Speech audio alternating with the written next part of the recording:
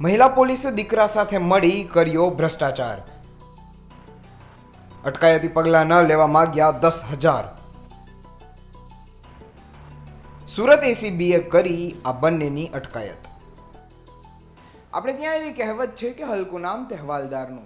આ કહેવત એટલા માટે પડી છે કારણ કે અમુક જે ભ્રષ્ટ કર્મચારીઓ છે, જે ભ્રષ્ટ પોલીસના અધિકારીઓ છે, તેમને કારણે આખા ડિપાર્ટમેન્ટને સાંભળવાનું થતું હોય છે.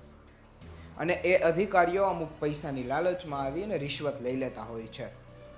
અમુક કામ ના કરવા માટે રિશ્વત લેતા હોય છે, અમુક કામ કરવા માટે રિશ્વત લેતા હોય છે. તો સુરતની અંદર આજે એક એવી જ ઘટના આવી છે કે જ્યાં મહિલા સબ ઇન્સ્પેક્ટરે એ કામની અટકાયત માટે કેટલા રૂપિયા માંગ્યા એ સાંભળીને તમને પણ થશે કે બસ. શું હતી ઘટના? કોણ છે આ મહિલા અધિકારી? જુઓ આજની આ ક્રાઇમ સ્ટોરીમાં. નમસ્કાર, ગુજરાત તક સાથે હું છું કશ્યપ.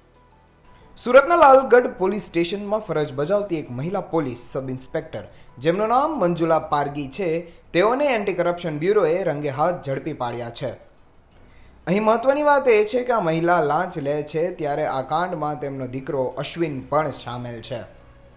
સુરતના લાલગઢ પોલીસ સ્ટેશનમાં મહિલા પોલીસ સબ ઇન્સ્પેક્ટરે અરજી એક્સવાય ઝેડના કામે અટકાયતી પગલાં ન લેવા માટે દસ હજાર રૂપિયાની માગ કરી હતી.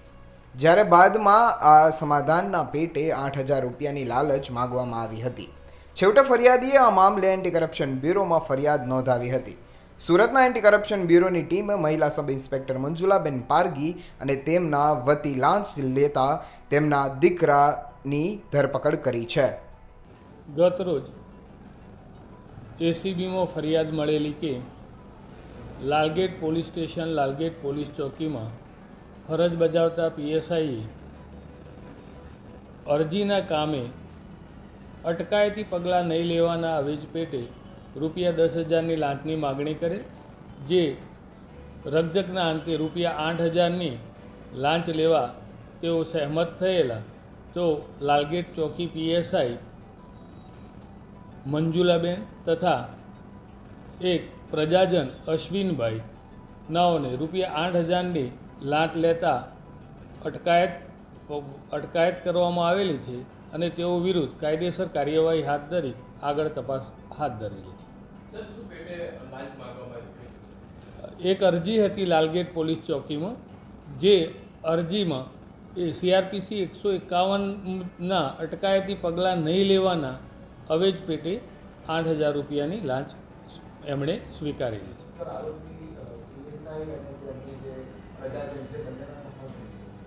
આરોપી પીએસઆઈ તથા જે પ્રજાજન છે, એ એમનો સંબંધ મા દીકરાનો છે.